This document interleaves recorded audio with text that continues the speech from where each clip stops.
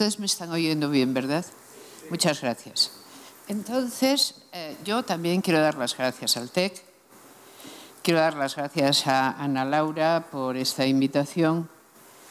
Entre ella y yo pensamos un poco el tema y tratamos de afinar este tema. Pues no es un tema fácil y en efecto forma parte de una investigación que llevo a cabo en los últimos años, que empezó como una investigación que llevaba, eh, que tenía el sesgo de por qué en determinados tipos sociales no encontramos principios universales de acción y en otros sí, y qué distinguiría unos tipos de otros y, y cómo es el tipo de normativa si ésta se deja sujetar a principios abstractos o si no lo requiere. En fin, era, era casi una, una investigación en lógica y acabó siendo una investigación en sociedades religiosas, sociedades normadas y pautadas por la religión y cómo esto se encarnaba en las normativas, en particular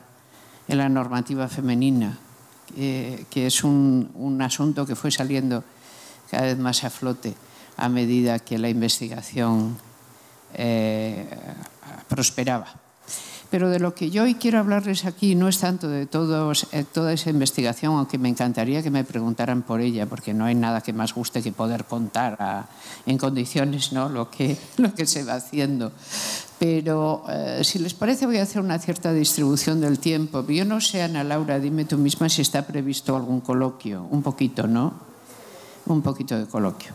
Entonces, si les parece, vamos a tomar la siguiente metodología. Yo expondré hoy eh, la introducción al tema, cómo veo yo el asunto de las, de las formas religiosas y cuáles son las ideas que me van a, per, a permitir eh, montar los temas que voy a exponer y consideren hoy que la mitad de la exposición consistirá en este desplegar las categorías que permiten la pensabilidad del asunto y la otra mitad en ir avanzando ya en cuestiones propositivas.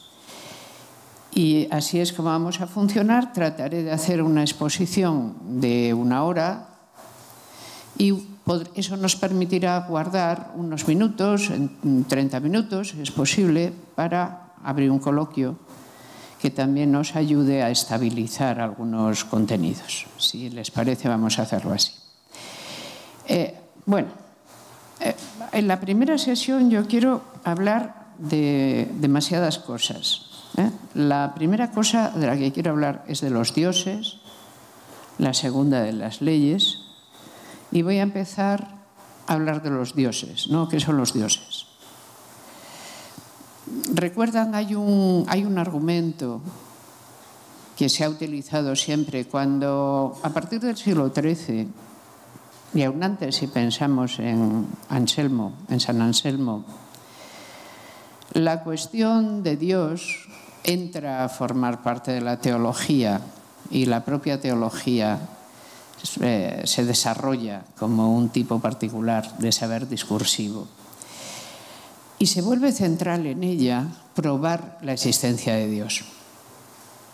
Es notable que cuando la teología es considerada una ciencia, sea una ciencia que tiene que probar la existencia de su objeto. Porque normalmente las ciencias no tienen esta obligación. Las ciencias, eh, un saber, lo que decide es qué va a estudiar. Pero en la teología en, el momento en que comienza su fuerte desarrollo, probar la existencia del objeto del que trata es eh, fundamental. Y comienzan a desarrollarse en la teología cristiana, por ejemplo, un tipo discursivo que son las pruebas de la existencia de Dios.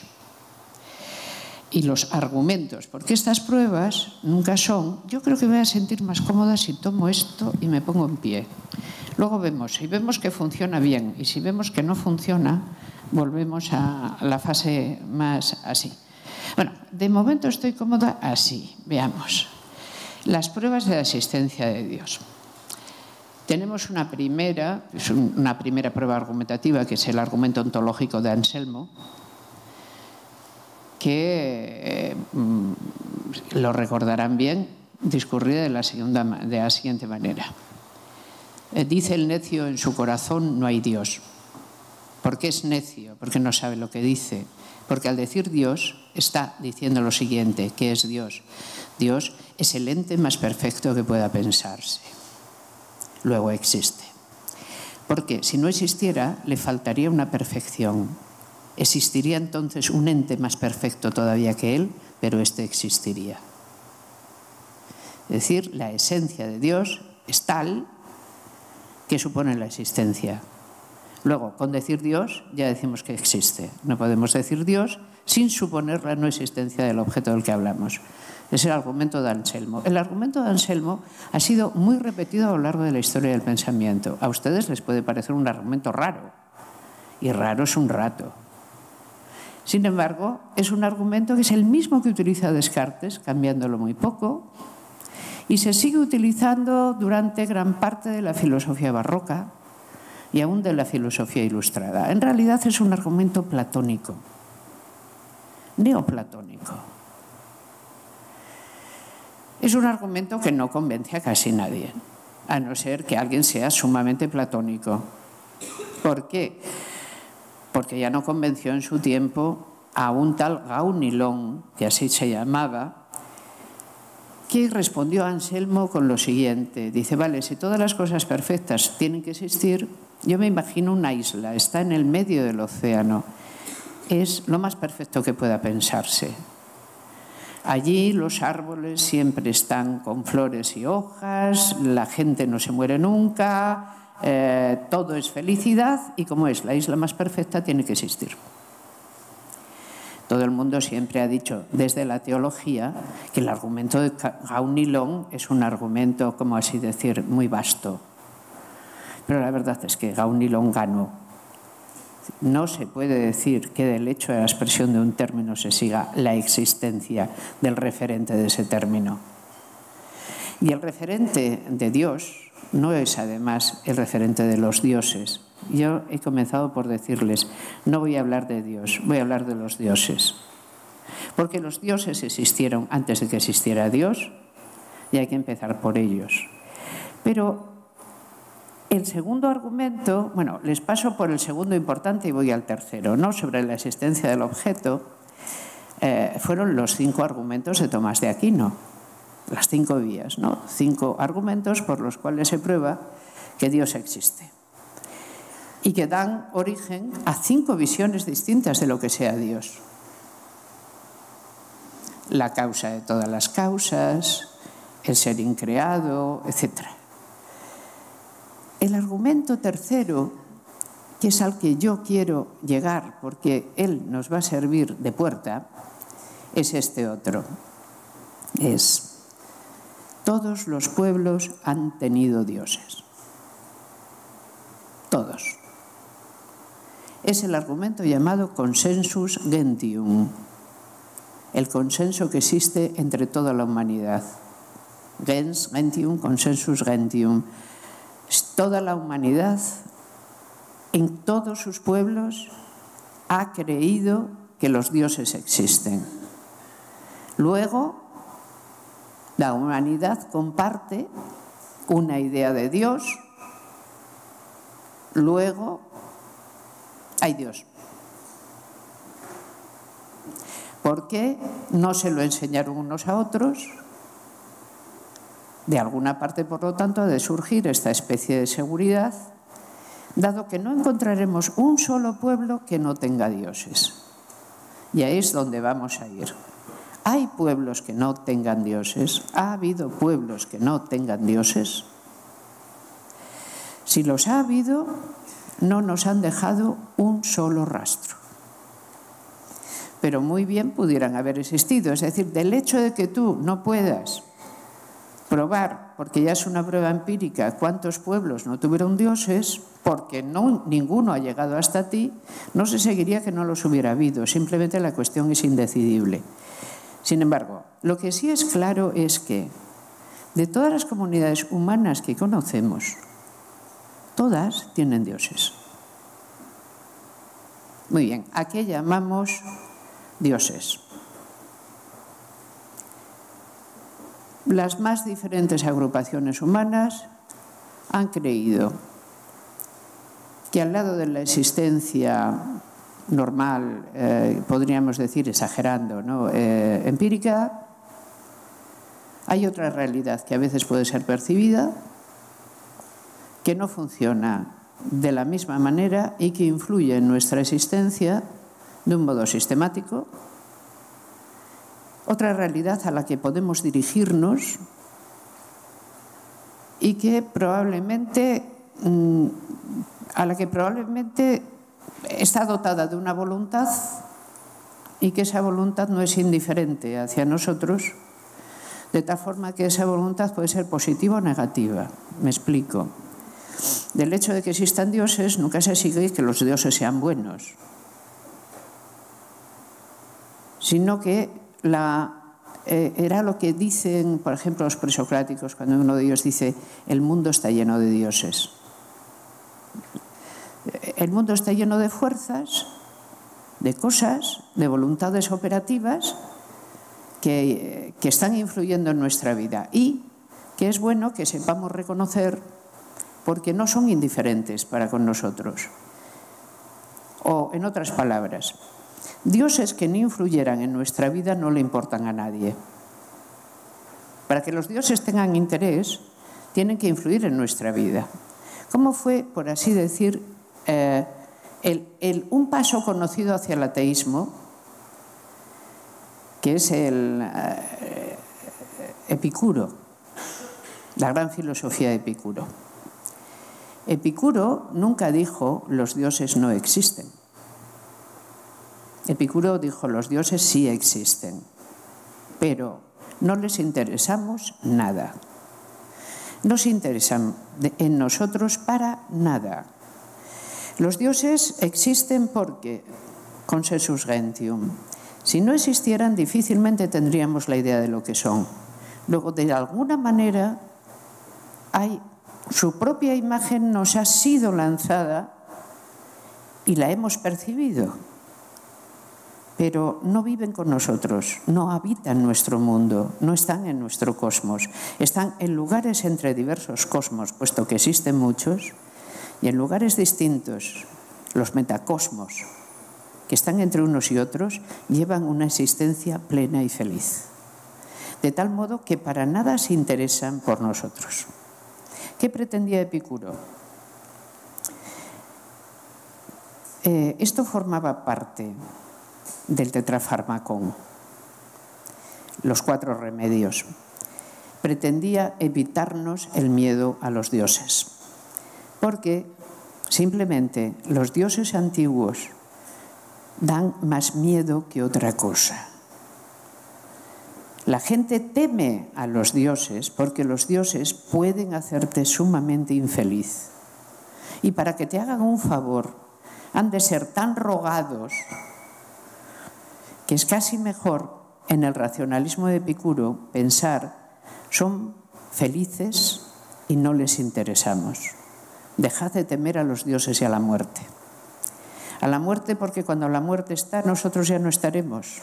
No hay nada que temer y a los dioses porque viven en los metacosmos perfectamente felices y no les interesamos. No hay que tener miedo ni a los dioses ni a la muerte, para empezar, ¿no? Dos de los remedios de los cuatro remedios.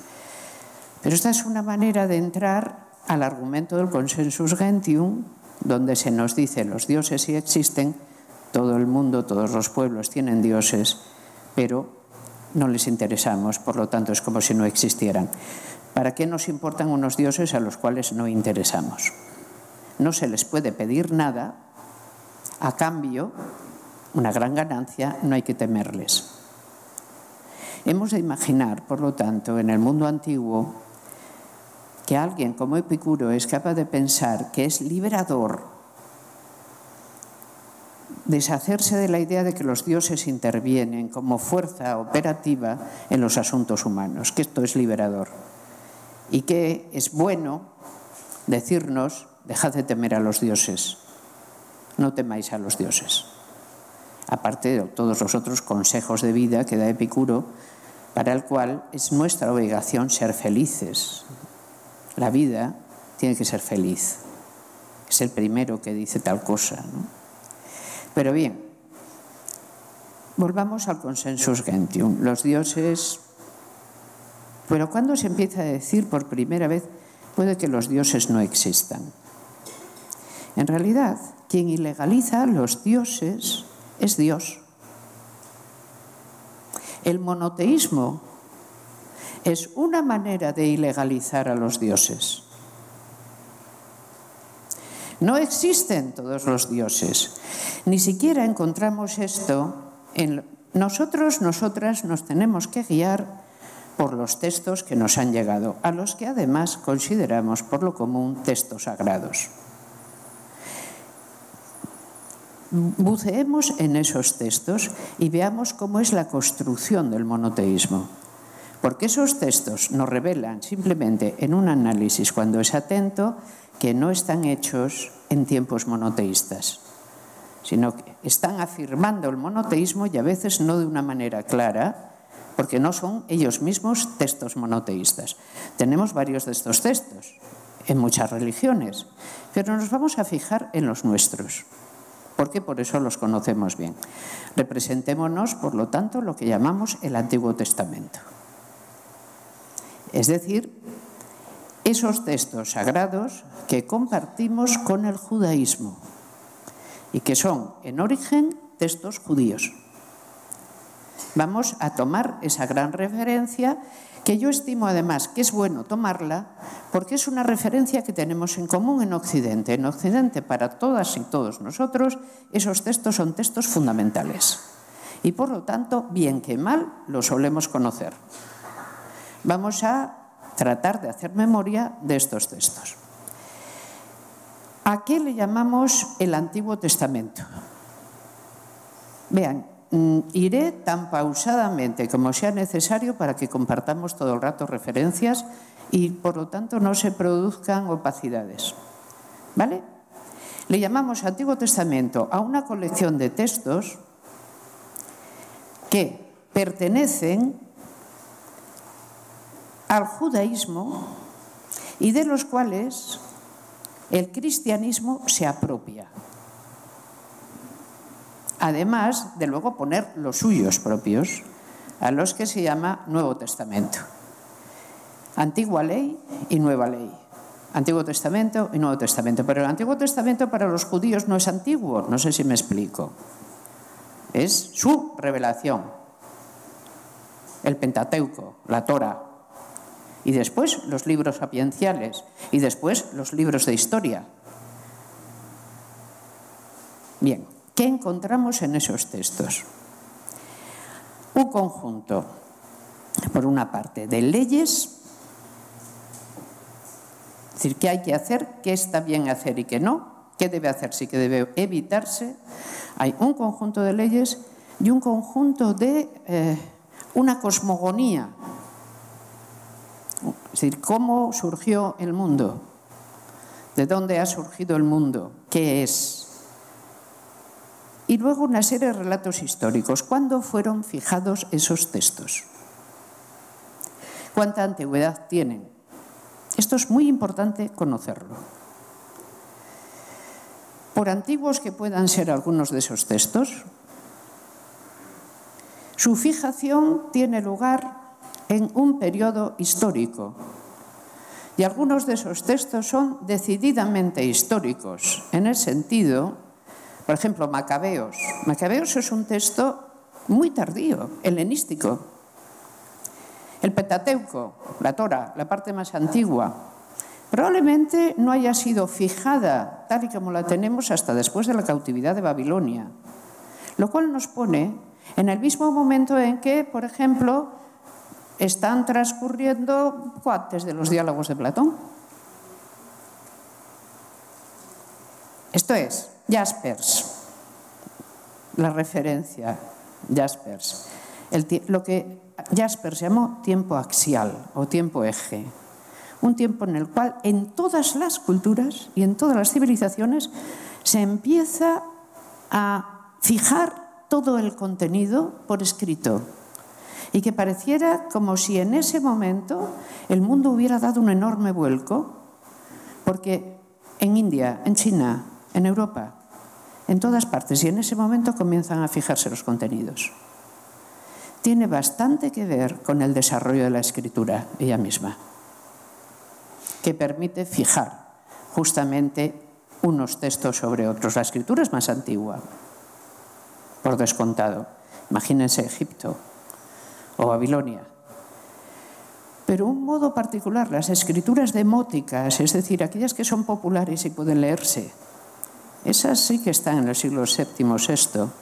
¿Cuándo se fijan los poemas homéricos? En el séptimo, VI también. Y probablemente de ese mismo momento es la fijación de los textos canónicos del Antiguo Testamento. Y algunas de las historias que ya nos transmiten son decididamente de esos mismos siglos en que se fijan. Otras, el propio texto nos dice, son historias mucho más antiguas, aunque estén fijadas ahora y probablemente son de dos fuentes, etc. Para esto les recomiendo eh, toda la obra de Karen Armstrong, que no solo ha estudiado eh, estupendamente esto, sino que, digamos, tiene un modo de escritura verdaderamente interesante y nos va a permitir ver cómo nace la idea monoteísta de Dios, bueno, una historia de Dios, utilizando sobre todo estos textos. Pues bien, ¿qué es lo que vemos ahí? Que el monoteísmo no está fijado. Vemos textos donde el Dios cuyo nombre no, se puede pronunciar, porque es pecado pronunciarlo, y por lo tanto, cuando se escribe su nombre, sobre él se escriben unas letras o bajo él que sí se pueden pronunciar, Atonai, el Señor, ese Dios que ha hecho el mundo, donde se nos cuenta la historia de la creación, ha dado también su ley. Este Dios no dice, yo soy el único Dios que existe. Dice, no tendrás otro Dios que yo. Esto es, hay bastantes quizá dioses por ahí, pero yo soy tu Dios. Yo soy el Dios de un pueblo y he firmado con este pueblo un pacto y lo he firmado con el origen del pueblo, Abraham, al que saqué de la ciudad de Ur, y lo he vuelto a firmar. Lo he vuelto a firmar cuando descoyunté a otro de los padres. Es una sucesión de padres que han tenido revelaciones. Cuando descoyunté a Jacob y Jacob vio la escala que subía hasta el cielo, Aquel día le di su nombre segundo y le dije, te llamarás Israel. Este Dios que tiene otro nombre, que es Él, precisamente, de dónde nos vienen tantos nombres que todavía utilizamos, Rafael, medicina de Dios, por ejemplo, Él, Ya, Yahvé, Atonai, porque el nombre de Dios no puede decirse. Son muy importantes para nosotros para poder llevar adelante eh, nuestra investigación estos textos, porque estos textos nos muestran que el primer monoteísmo no tiene claro que sea un monoteísmo. Un Dios particular ha firmado con un pueblo una alianza. Esta alianza es muy clara.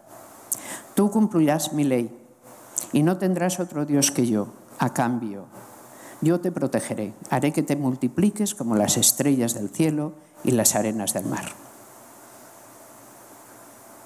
Tú serás mi pueblo, yo seré tu Dios, esta alianza permanecerá hasta el fin de los tiempos. Pero en ninguna parte de la alianza se nos dice en los textos más antiguos, yo soy el único Dios. Hay más dioses. Es más, a medida que esta religión, que va a ser el origen de la nuestra, el cristianismo, a medida que esta religión se va desarrollando, se tendrá que ir desprendiendo de prácticas que implican claramente que no solo el monoteísmo no está admitido, sino que el propio lugar de culto no es monoteísta. Por ejemplo, ¿qué quieren decir textos como eh, tal rey echó del templo a las mujeres que tejían el velo para la esposa de Dios? O si de nuevo Karen Armstrong, si ustedes se leen la magnífica historia de la ciudad de Jerusalén, se van dando cuenta de cómo se afianza y qué problemático es afianzar el monoteísmo en el culto, porque Atonai realmente tiene culto con otros dioses allí mismo. Y hay una tensión hacia el monoteísmo que provoca siempre revueltas sociales, destrucciones, hasta que el monoteísmo por fin se afirma. ¿Cuál es la fuente del monoteísmo? Es un asunto interesante. ¿De dónde sale el monoteísmo? Porque verdaderamente si buscamos en los textos, que claramente son más antiguos, lo que se nos dice es que hay un pueblo que va a tener un dios, pero no que haya que no, uh, que no haya otros dioses, sino que ese es el dios de ese pueblo. Pero el camino al monoteísmo está abierto y tiene enorme, otro enorme puente, que es el racionalismo.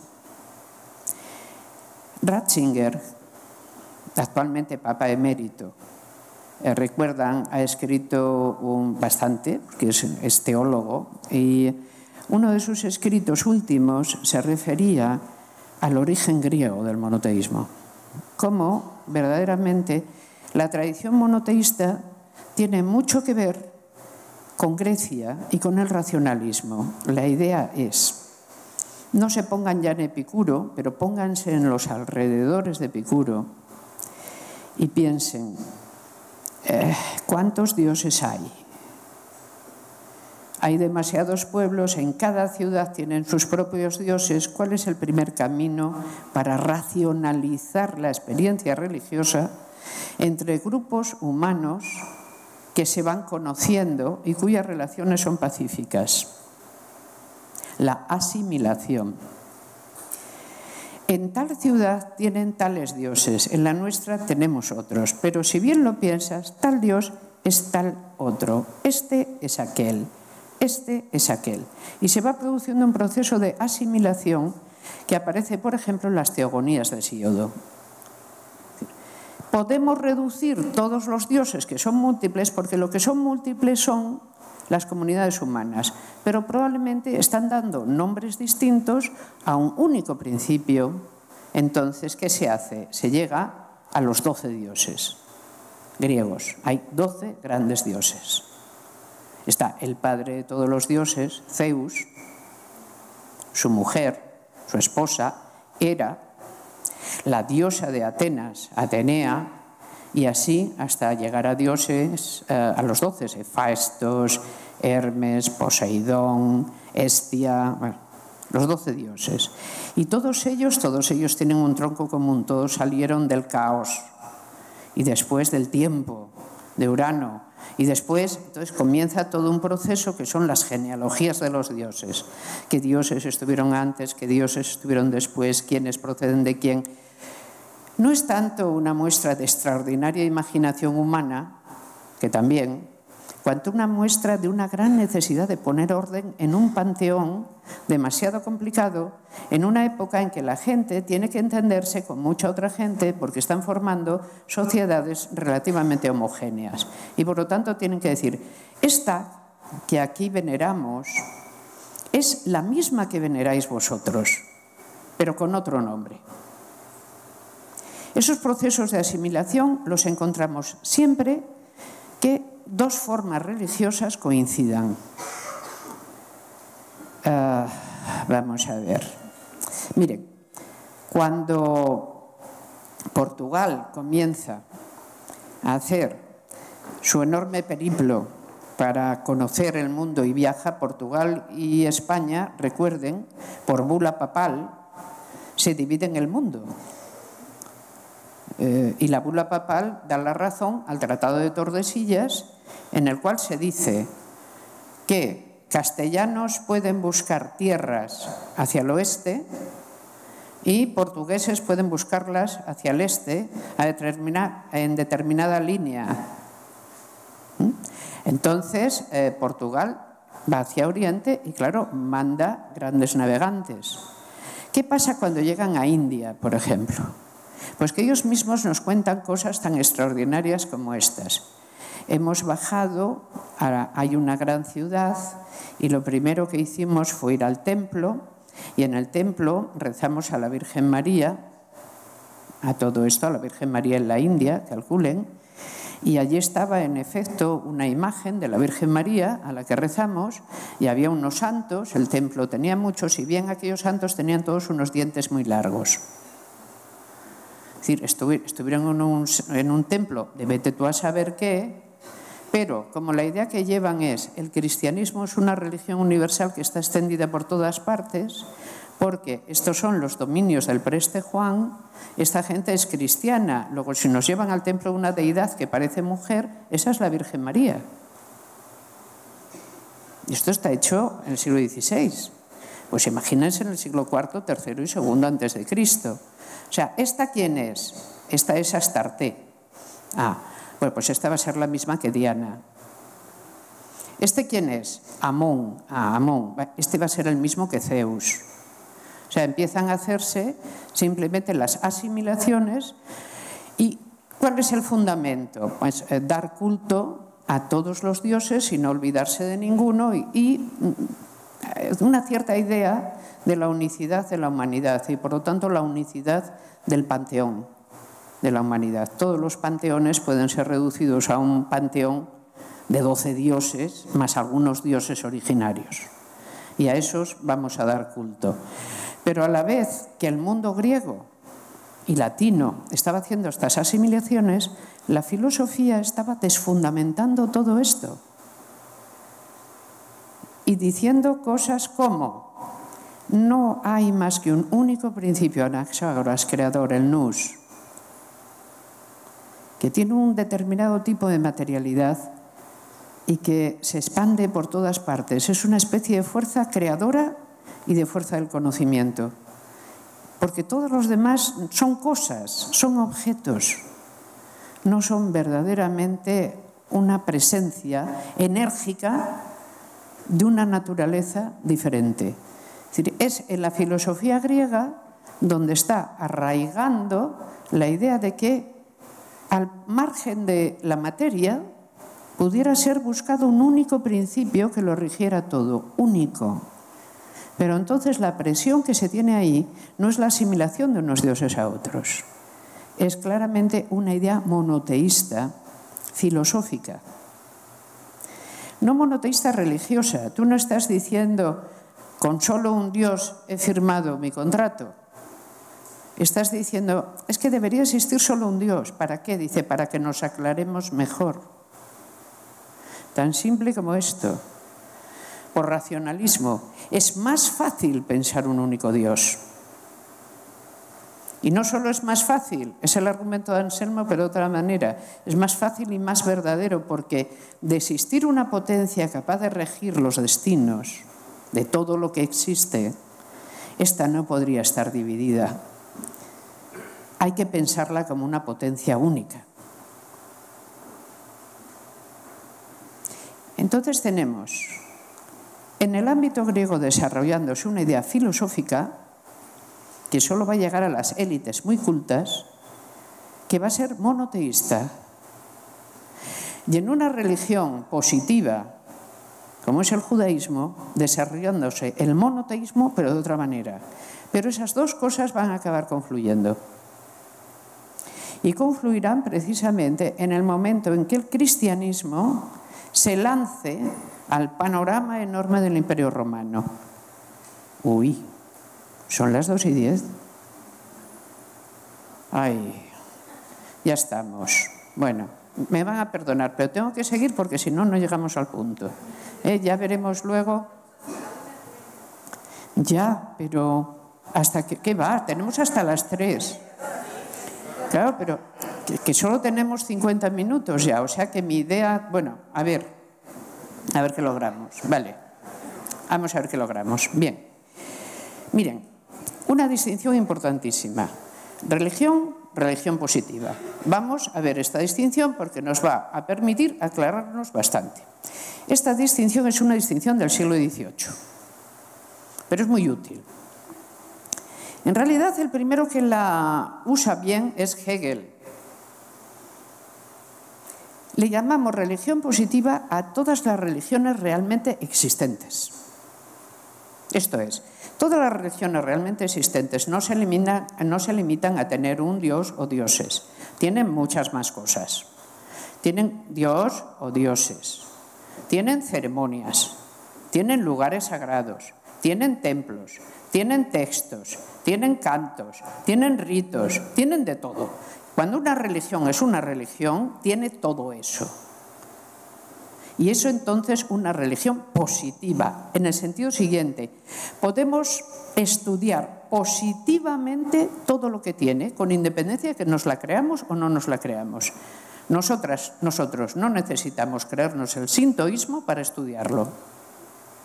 Es una religión positiva, se estudia. Tiene todo lo que tiene una religión. Lo ponemos ordenadamente y lo vamos describiendo. Eso es una religión positiva. Todas las religiones que conocemos son religiones positivas.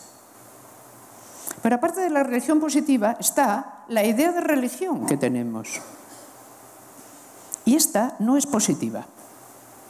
Ni tiene ritos ni tiene nada de todo eso que tienen las religiones positivas. Cuando estudiamos el fenómeno religioso tenemos que estudiar religiones positivas. Si queremos hacer un estudio de otra índole sobre la religión en sí, que sepamos que ese no es un estudio empírico positivo, es otra cosa.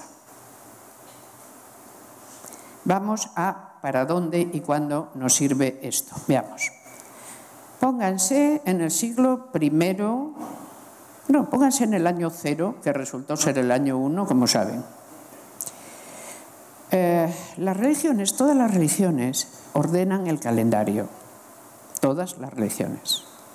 Una religión que no ordena el calendario simplemente no sirve para nada. Y las religiones son cosas muy útiles siempre para los pueblos que las tienen. Una religión te tiene que decir cuánto tiempo ha pasado desde algo, cuánto tiempo falta para la cosecha, cuándo es el momento en que tienes que sembrar cuando tienes que realizar los ritos de la fertilidad, cuando tienes que hacer las purificaciones. Una religión tiene que ordenarte bien la vida. Y las religiones, todas, las más grandes, son religiones de las grandes sociedades agrarias, que están sobre todo interesadas en el calendario y por lo tanto son todas cíclicas.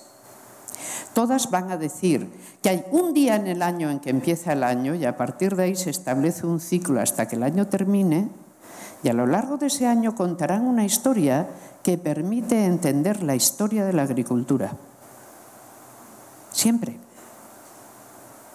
El judaísmo era una de estas religiones, tenía un Dios único, por supuesto, y todo esto, pero tenía muy bien marcadas sus fiestas. La Pesá, la Pascua, que hay que hacer en Pascua, la purificación que hay que hacer en la purificación, el momento en que la luz se va, pero sabiendo que volverá la Hanukkah, etc. Todas las religiones nos cuentan el año, nos dicen cuándo empieza y se acomodan a todos los ritos que permiten que una sociedad agraria se mantenga. Porque nuestro año está marcado por los trabajos y los días que hay que hacer, que hay que conseguir. ¿Para qué? Para algo tan importante como sobrevivir. Las sociedades agrarias no son las primeras que saben del ciclo anual, pero son las primeras que pueden acumular y guardar para cuando no haya. Y esto es lo que nos ha permitido el enorme proceso de dominización, el salto enorme que significa la agricultura dentro de nuestro proceso de dominización. Pero previamente las sociedades pastoriles o las sociedades recolectoras tenían que saber cuándo y qué había para recolectar, cuándo y qué animales había para cazar. Y eso solo te lo decían los dioses. Es decir, la memoria colectiva de cuándo hay qué, a la que llamamos dioses está ahí. Pero ¿qué pasa con el monoteísmo? El monoteísmo no tiene ciclos. El monoteísmo verdaderamente es un racionalismo y se nota no ya solo en que no es positivo, es que sobre todo no nos cuenta los ciclos. se acaba haciendo cíclico y vamos a ver eso ahora. Yo les pido que me sigan en esto también con tranquilidad. Esto va a ser un análisis de las formas religiosas, incluidas las nuestras. Y nos va a venir muy bien saber mucho de ellas. Cuanto más sepamos, mejor. E incluso nos lo vamos a pasar muy bien sabiendo cosas de ellas. Vamos a el momento del el año cero. Vámonos a ponernos en el año cero. ¿Qué pasaba? El judaísmo llevaba andado un buen trecho hacia el monoteísmo. Un muy, muy buen trecho. La filosofía griega también había caminado desde otra parte hacia el mismo lugar, un monoteísmo filosófico racionalista. ¿Cuándo se encontraron? se encontraron en Alejandría, donde estaba la gran biblioteca y donde estaba el centro de todo el saber entonces, donde estaba un tipo particular de judaísmo, el judaísmo alejandrino, donde se escribió por primera vez la Biblia en griego, allí. La Biblia en griego es la Biblia que normalmente leemos, es la versión que llamamos de los 70. Se supone que a 70 eruditos, o bien muy sabios, les fue encargado que hicieran una, traducción exacta de los antiguos libros escritos en hebreo, en arameo, en diversas lenguas semíticas, y no que lo tradujeran al egipcio, que era donde estaban, en Egipto, en Alejandría, no, a la lengua universal del momento, el griego. Y esta es la Biblia de los 70. Cada vez que veamos las enormes innovaciones cristianas, podemos ver cómo están relacionadas con Alejandría y con todos estos círculos cultos religiosos que son el mismo humus de donde brota la Biblia de los 70. Por así decirlo, lo que intento transmitirles es que el mundo antiguo estaba preparado para un enorme cambio religioso. De hecho, San Pablo lo dice, lo dice metafóricamente cuando dice, toda la creación suspiraba por el nacimiento de alguien, de un Salvador. Toda la creación lo demandaba. ¿Qué era lo que estaba pasando? El Mediterráneo se está volviendo una ecumene, un mar común. Las asimilaciones de dioses ya se han hecho. Los griegos, grandes navegantes, o los fenicios se han hecho todas las asimilaciones entre dioses y diosas. Los templos se han multiplicado y cada marino que llega sabe y le dice, mira, esta viene a ser más o menos... Eh, las religiones se están trasladando. El culto de Isis, por ejemplo, se arraiga en Roma y llega a ser importantísimo el propio culto de Isis. Algunos dioses romanos eh, toman el camino de, la emigración y se asientan también en el otro lado del Mediterráneo. Pero empieza a hacerse especialmente interesante para la gente más culta el dios judío. ¿Por qué? Porque la Biblia de los 70, precisamente, lo que pone, eh, de lo que convence al resto del Mediterráneo es de que hay un sitio donde ya existe lo que demanda la filosofía, que es un Dios único. Hay un lugar donde el Dios único ya tiene un templo y hay un lugar donde el Dios único ha sido siempre adorado y este lugar es Jerusalén. Haciendo investigación en Nepal esta primavera, Estuve en un templo que mañana, si les parece, traeré algunas imágenes del templo de Pasupatina. Es un templo de Shiva, en la denominación de Pasupatina, Señor de los Animales. Eh, cuando acababa de ver este templo y con las personas con las que había ido a hablar allí, que eran teólogos hindúes, me dijeron, Pasupatina es tan importante para nosotros como lo es Jerusalén para ustedes. Y yo dije, sí, pero es que para nosotros Jerusalén no es importante. Lo importante es Roma. Da, ¿y eso? Porque Roma era la capital del imperio, no Jerusalén. Jerusalén, ¿qué pasaba en Jerusalén? Ah, había un templo al Dios único en la colina del Monte Moria. Allí se venía dando, decían, culto a Dios desde siempre, porque el mundo tenía 3.000 años. Y desde casi siempre allí había llevado a Abraham para sacrificar a Isaac. Allí estaba enterrado Adán, en el mismo sitio. Todos los orígenes, todas las muertes estaban allí, donde todavía está hoy el gran estilo batón del templo de Herodes, donde está el muro de las lamentaciones, allí, donde está la cúpula de la roca, allí, todo, junto, allí, para las tres religiones. Que por cierto, qué bien se llevan. ¿Eh? Pero ¿cómo te vas a llevar bien con una gente con la que estás disputando por el espacio? Es imposible. Pero allá ha pasado todo. ¿Qué creían, digamos, la gente así más, digamos, con un fuerte espíritu religioso? Pues lo creían de buena fe. Decían, es cierto, los judíos parecen ser los primeros que tuvieron una revelación directa de un Dios único. Luego, había mucha gente que tenía una actitud filojudía, en el sentido siguiente. Eh, había comunidades alrededor de la sinagoga de gente que no era judía, varones y mujeres. ¿Y por qué no eran judíos? Porque el judaísmo no tiene y no tenía ningún interés en que nadie se convierta a él. No es una religión expansiva, ni inclusiva. No lo es. Dios ha firmado la ley con este pueblo y con nadie más. Esto es lo que distingue a este pueblo. Este pueblo tiene un único Dios. Es este Dios. Y ha firmado con este único pueblo, con nadie más. ¿Cómo empieza el camino a decir, no, este mensaje es universal, es para todos los pueblos? empieza con la propia traducción de la Biblia de los 70. Tú no traduces tus textos al griego si no quieres que los griegos los tomen, los veneren o los acepten.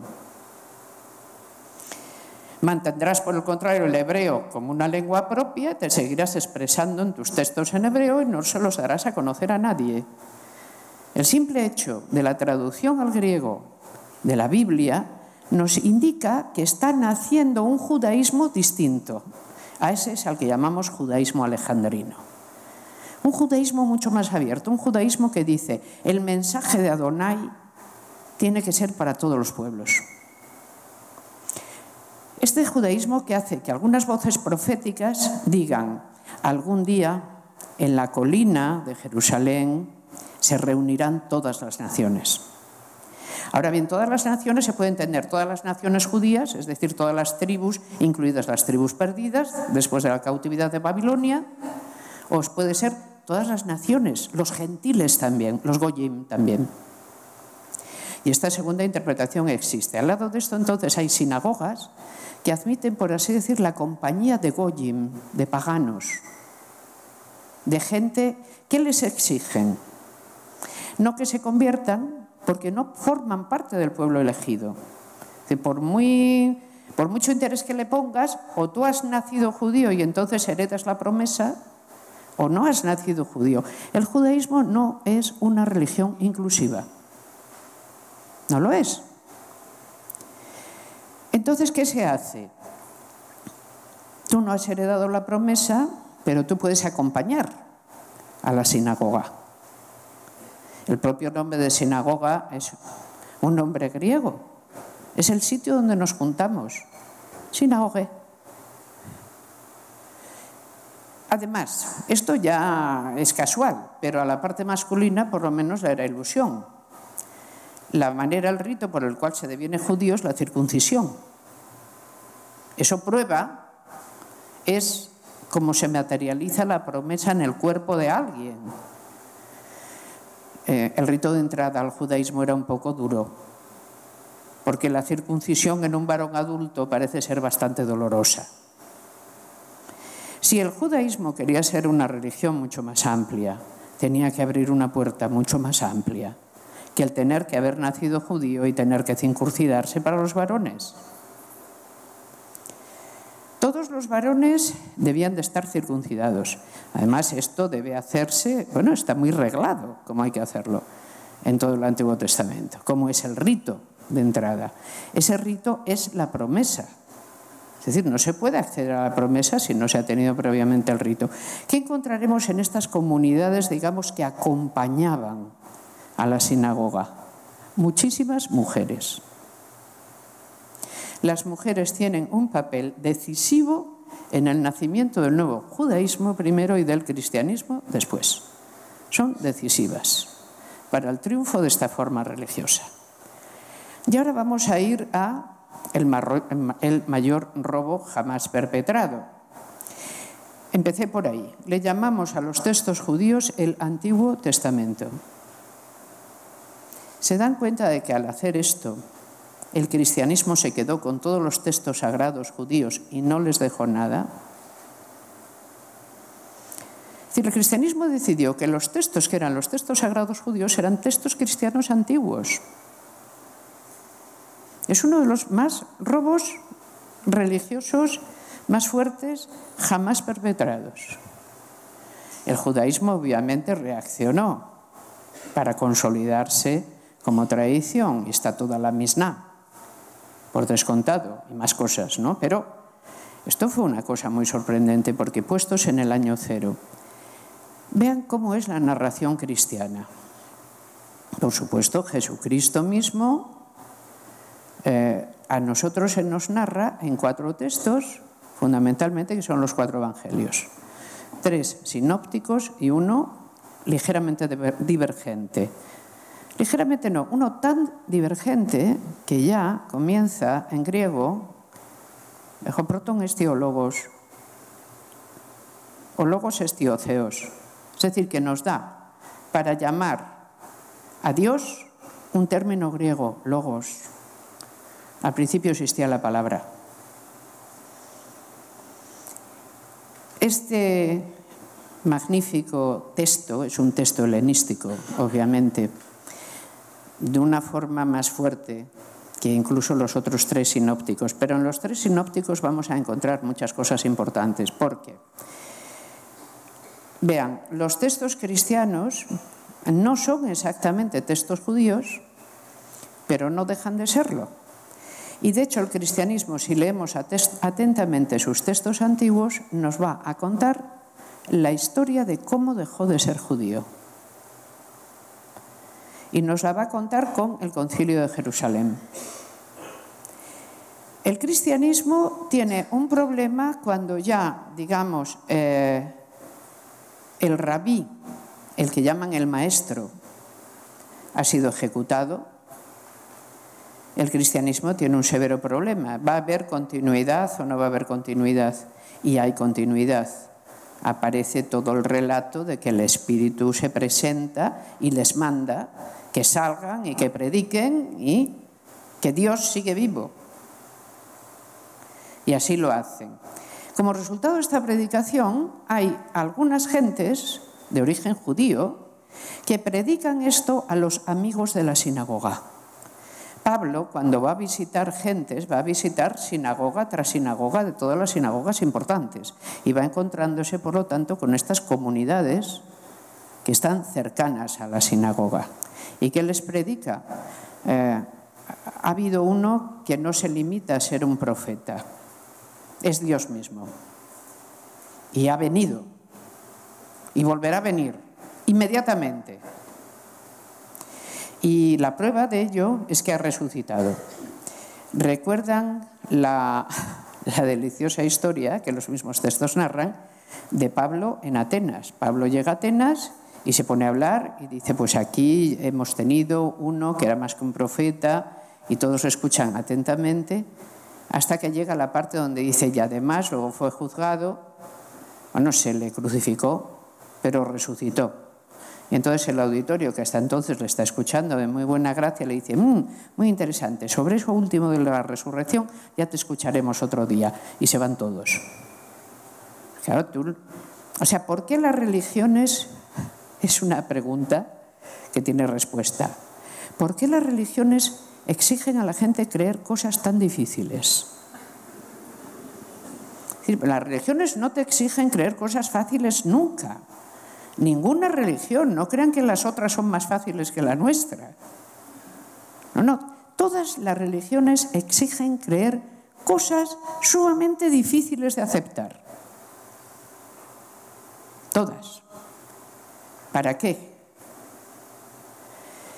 Si tú no obligas a alguien a suspender su juicio y creer realmente cosas muy complicadas, nunca puedes estar seguro de su adhesión. La religión es el más grande cemento social que existe. Y una parte del cemento social es la confianza y la adhesión. Si no hay absoluta confianza y absolutamente adhesión, una sociedad no funciona. Y las sociedades que no tienen esto se ponen en peligro. Hay dos maneras de ponerse en peligro. Una es la impureza y la otra es la desconfianza. Cinco minutos para la impureza, cinco para la desconfianza, cinco para el colofón y un cuarto de hora para el coloquio. ¿Les parece bien? Venga. A ver. Las religiones, les decía, tienen que exigir de sus fieles que crean cosas sumamente complicadas. No un poquito complicadas, no, sumamente complicadas. No es que estén poniendo a prueba nuestra racionalidad, pero también. Me explico. No están poniendo a prueba que no seamos racionales. Están diciéndonos que suspendamos el juicio cuando nos trasladen ciertos contenidos, porque ahí, en vez de la razón, nos van a pedir la confianza. Y la tenemos que dar entera. Y a esa confianza le llamamos fe. ¿Yo en qué creo? En lo que tú me dices. Siempre es así. Se puede contar de maneras diferentes. El chamán que se levanta y dice, para que mañana tengamos pesca, hay primero que quemar aquí a este y después vamos a despellejar aquel. Y si acompañamos todo esto con una gran procesión con danzas, vamos a tener pesca casi seguro. Bueno, es evidente que mm, nos está exigiendo un determinado grado de confianza, pero todas las religiones lo hacen. Es decir, las antiguas y las más modernas.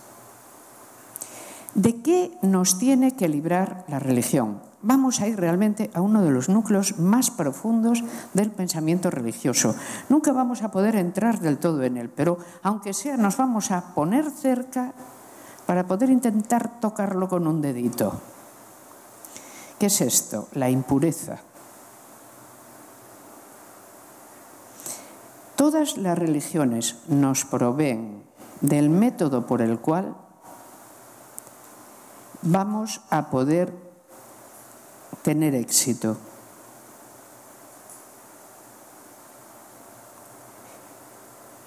A ver si lo logro.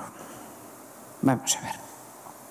Miren, ¿qué nos aleja del cumplimiento de nuestros objetivos y de nuestros fines? Eh, sobre esto, la antropología cultural ha hecho decenas y decenas de estudios. En todas las sociedades, igual que existen dioses, existe la impureza. Esto es, le llamamos impureza a aquella situación en la cual no podemos esperar sino desgracias.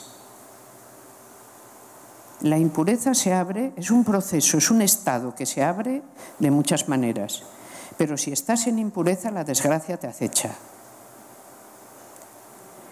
hay otra cosa con el concepto de este de que la desdicha atenta está siempre sobrevolándonos y nos puede tomar, hay otra noción antropológica sumamente extendida, que es la noción de mana. Le podemos llamar por muchos nombres, mana, wakanda, orenda, muchas, porque muchos nombres ha recibido. Es la idea de que se puede compartir una especie de estado que viene a ser una sustancia que realmente es la que te pone en el buen camino y que eso se tiene o no se tiene y que se puede perder y que si se pierde hay que poder volver a restaurarlo y que hay maneras en que se restaura y que hay gente que tiene más, hay gente que tiene menos. En el cristianismo esto tiene un nombre, pero no, es tan fuerte, le llamamos gracia, haris. ¿Se tiene o no se tiene Haris? Y la Haris, la gracia, se puede perder. Y por el contrario, hay acciones que nos la devuelven, la Haris.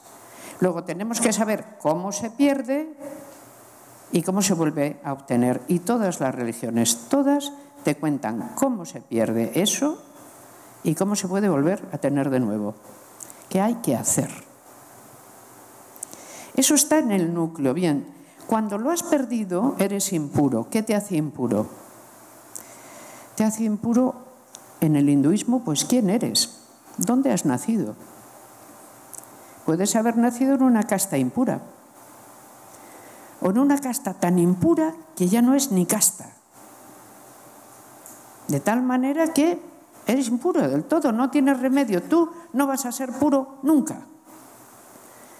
Las leyes de Manu para los impuros. ¿Qué hay que hacer con ellos? Hacer que lo sean cada vez más. La impureza no se puede levantar de ninguna manera, se nace con ella. Formas religiosas un poco menos ominosas. Se es impuro por, por ejemplo, el contacto con fluidos que impurifican, el contacto con personas que impurifican, el tomar alimentos que impurifican. Esto lo tenemos que saber bastante mejor porque está en nuestros textos sagrados. Aunque ya no hagamos de ello ningún caso, pero está. Es decir, los textos revelan el origen. Por ejemplo, eh, vamos al caso de hay personas que te hacen impuro. Judaísmo, pongámonos ahí, es una religión, algunos de cuyos contenidos son manifiestamente arcaicos. ¿Qué te hace impuro? El contacto con las mujeres menstruantes. Están impuras. Son impuras y cualquier contacto con ellas te hace impuro. El contacto con un cadáver. Un cadáver es impuro y si lo has tocado, estás impuro. El contacto con los fluidos que se desprenden del cuerpo, el semen, hace impuro. Cuando se ha tenido una eyaculación, entonces se es impuro el contacto con algún tipo de animales muertos, el haber comido algún tipo de animales. ¿Qué animales no se pueden comer en el judaísmo? El cerdo, eso es lo que ustedes se creen. Ni el cerdo, ni las gambas, ni los camarones, ni nada que ande por el mar y no tenga escamas, ni nada que ande por la tierra y tenga la pezuña hendida, porque si la tiene continua no se come, ni una larguísima serie de animales que no se pueden comer, porque hacen impuro si los comes. No, no, no se limiten al cerdo. La limitación al cerdo es islámica, no judía. Las limitaciones judías son muchísimas más. Con el cerdo, en exclusiva, se ha quedado el Islam. ¿Y el cristianismo? ¿Qué animales no podemos comer?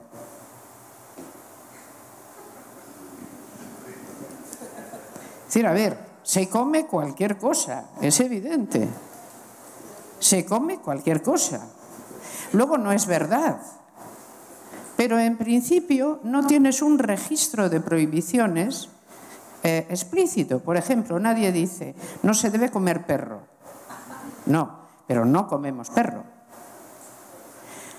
Quiero decir, ese mandamiento no está religiosamente marcado en nuestro caso, pero no es que no exista, no hay, excepto China, prácticamente ninguna sociedad humana que no haya vedado determinados alimentos. ¿Por qué?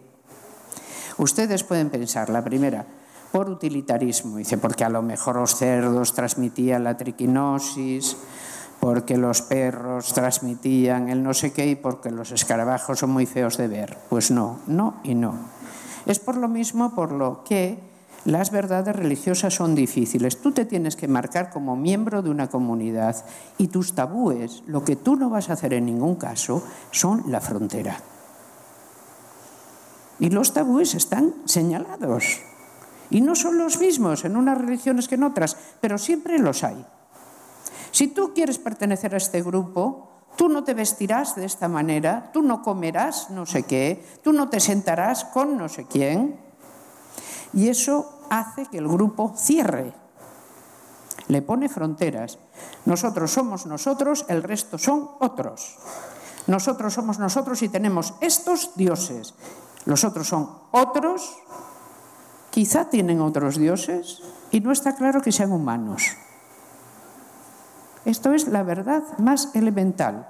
Los que no tienen nuestros dioses no son como nosotros, no son en todo como nosotros y probablemente no son humanos como nosotros. La mayor parte de los nombres por los que los grupos humanos se nombran a sí mismos quieren decir hombre. ¿De dónde que el pensamiento subyacente es, no está claro que los demás que no somos nosotros lo sean. ¿Y quiénes nos aseguran de eso? Nuestros dioses. Y para poder tener en ese permanecer hombres, hay que estar puros. Por lo tanto, todas las religiones contemplan lugares especiales, momentos especiales, recursos especiales para volverse puro cuando se ha perdido la pureza. No vale con decir he perdido la pureza, pero es que la pureza se reencuentra en lugares especiales. Todas las religiones, todas tienen lugares sagrados. Los lugares sagrados son o los sitios donde alguna vez estuvieron los dioses, o los sitios donde en efecto están los dioses, pero y sobre todo son los sitios donde la pureza perdida se puede recobrar. Tú recuperarás la gracia divina porque la has perdido si vas a determinado lugar. Y una vez allí, cumples con los ritos de ese lugar. La pureza habita como fuerza en algunos lugares y la mantienen algunas personas. Hay personas más puras que otras. Hay personas que están más cerca de los dioses que otras. Entonces, hay que acercarse a esas personas. En algunas tribus puede ser el chamán el que es el que se sabe estas cosas. En otros es el sacerdote el que se sabe estas cosas. En otros es el brahman de la casta más alta el que se sabe estas cosas. Pero siempre hay gente que está más próxima a la fuente. ¿Y qué es lo que hay que asegurarse? ¿Por qué es tan importante la fuente?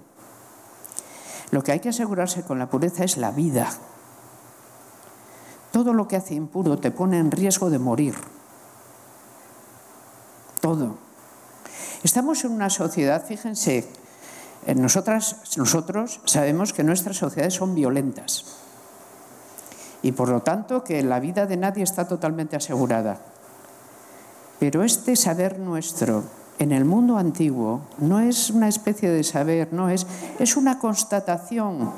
La vida es corta, violenta, desafortunada y hay que asegurarse por todos los medios que tú tendrás acceso a una fuente de seguridad. Y la religión te la va a dar. Y te va a decir cómo. Aléjate de lo sucio, aléjate de lo impuro, quédate en el núcleo donde se está realmente dando la gracia. Esto te asegurará, te va a dar seguridad. La religión es una gran aseguradora, es una gran aseguradora de la vida, sobre todo de la vida, de la continuidad además de la vida. El judaísmo que promete en primer término, si tú cumples mi ley, yo te multiplicaré. Tu pueblo no terminará nunca. El judaísmo no es una religión que prometiera la vida eterna. Aún hoy, la mayor parte del judaísmo no lo hace, otros sí. Ya saben que hay muchas variedades. No, lo que, lo que Dios te asegura es que tú tendrás hijos y tus hijos no les verás morir, sino que tú morirás antes que ellos y ellos tendrán hijos y sus hijos otros hijos y el pueblo permanecerá para siempre. Te asegura la continuidad absoluta del pueblo. Y esa es la promesa. ¿Qué pasa en el cristianismo? Hay una sociedad bastante más individualista porque si no, no es posible que alguien diga, yo te aseguro a ti en particular que vivirás para siempre. Contra cualquier evidencia. Díganme. Entonces, una de esas creencias dificultosas. Los propios apóstoles que en algunas de sus cartas nos dicen, mm, Dios te dará la vida eterna, escriben también, Nadie ha vuelto de allá para contarlo. Los propios que te dicen obedece al Señor escriben a Dios nadie lo ha visto. No piensen que de la religión está... Es decir, la religión es una fuerza humana y hominizadora de tal categoría que nunca excluye tampoco ninguna esplana. Nunca excluye tampoco ni la duda, ni el saber que las cosas bien pudieran ser de otro modo, de otro lado y de otra parte. Voy a considerar esta, digamos, lección de hoy como una introductoria muy general a los temas que tenemos que tratar, pero pensé que era necesario hacerlo así, porque si no ponemos cierto lenguaje en común va a ser muy difícil avanzar después. Con ello, quiero resumirles. La religión, resumo, no es... A veces a la gente le preguntas, ¿qué es una religión? La gente piensa y dice, bueno, la religión es un conjunto de creencias. No. La religión es un conjunto práctico que le dice a un grupo humano cómo hay que vivir. Para lo cual tiene un renglón de creencias y un renglón de leyes. Las leyes avaladas por las creencias, es decir, las leyes avaladas por su enunciación. Cuando nos enfrentemos a una religión antigua, es posible que nos enfrentemos, como en el caso del Antiguo Testamento, a un conjunto de leyes y que en ellas no seamos capaces de distinguir las leyes penales de las leyes civiles, etc.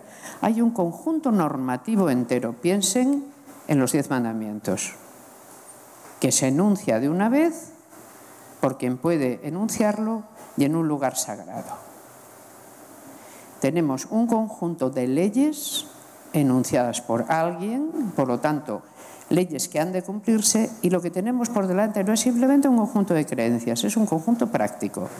¿Qué cosas hay que hacer? ¿Qué cosas hay que evitar? ¿Con quién puedes ir? ¿Con quién no? ¿Hasta dónde? Etcétera. ¿Cuáles son los castigos que se siguen si lo incumples? Está todo perfectamente explicado. Y a eso, a esos enormes conjuntos prácticos que llamamos religiones, eso es lo que todavía hoy rige la vida de casi toda la humanidad.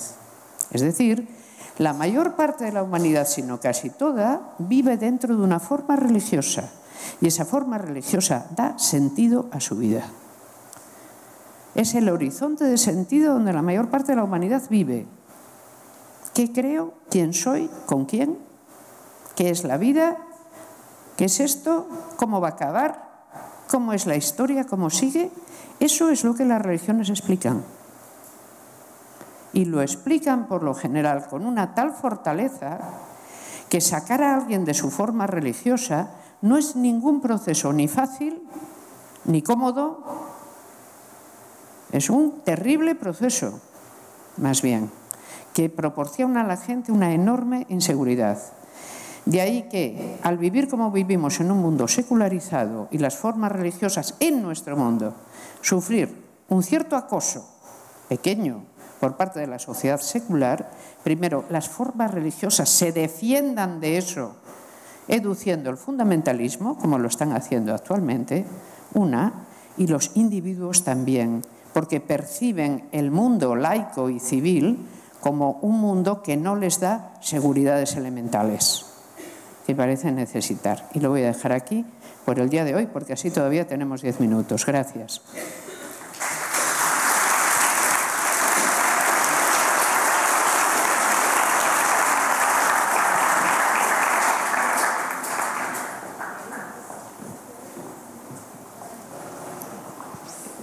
Muchísimas gracias eh, por su cátedra.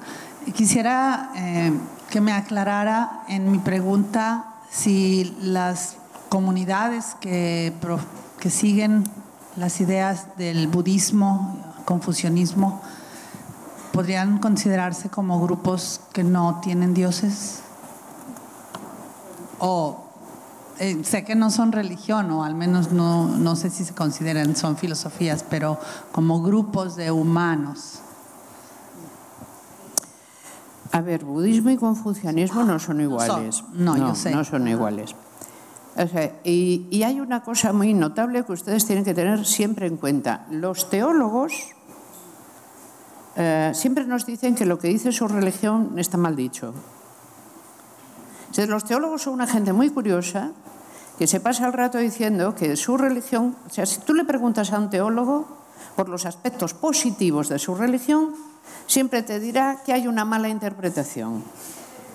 Eh, que no, que en realidad lo fetén es pensar otra cosa. Quiero decir, por ejemplo, el budismo. Pues cualquier teólogo budista te dirá aquí el budismo, la realidad última del budismo es que el budismo dice que Dios no existe. El budismo es una religión atea no hay Dios. Buda es alguien que tiene la iluminación y que justamente lo que cuenta es eso, no hay Dios, es una especie de epicuro. No hay Dios y aprende a vivir. Dice, oye, y entonces los templos y tal, y la gente, las ofrendas, la comida, las flores, los ritos, eso es para el pueblo. siempre los teólogos no son el pueblo. Pero el pueblo siempre hace lo que hacen todos los demás pueblos. O sea, un pueblo no lo puedes ir diciendo, Buda ya dijo que no había Dios. Lo dice, pero bueno, ¿qué me está diciendo si yo le estoy llevando a Buda precisamente este arroz? Y se lo llevo para algo, a ver si se cree usted que yo el arroz lo llevo a, a alguien que no me puede ayudar. Se lo dije al principio, un Dios, unos dioses que no se meten en nuestra vida no nos interesan.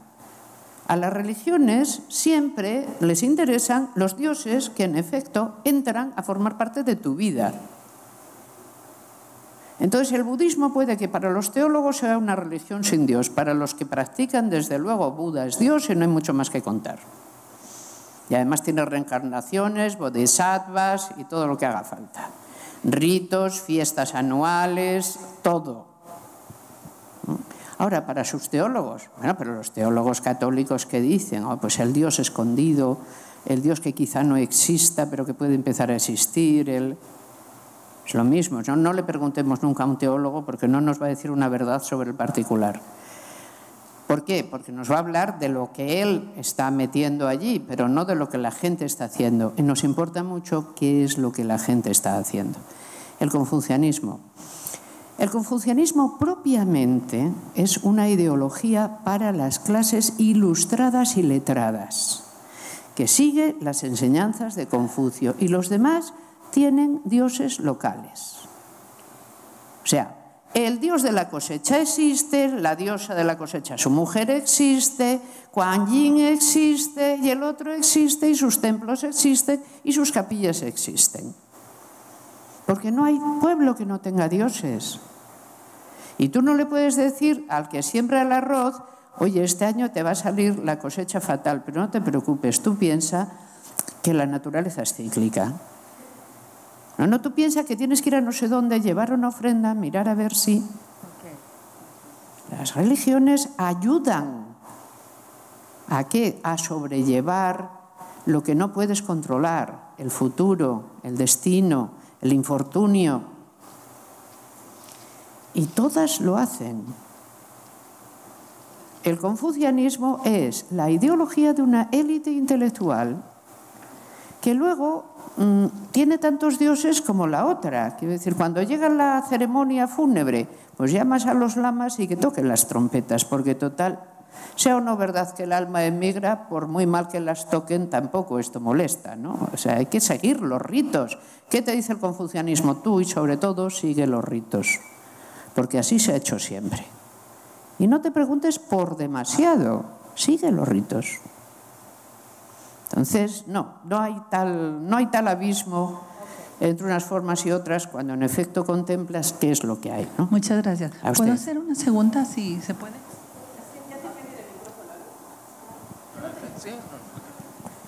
Em, hola. Em, la definición que da de religión se me hace que aplicaría también cuando hablamos de la constitución o cualquier grado o cualquier este, eh, pues mundo laico donde se nos dice que, por ejemplo, la pureza está relacionada con la higiene o, este, o que nos está diciendo las normas por las que hay que vivir porque si no, no te van a ir al infierno, pero te van a ir a la cárcel o te van a multar. ¿Estaríamos hablando de algo que se acerca a religiones no teístas cuando hablamos de eso o si se cuesta aparte por completo por alguna razón positiva?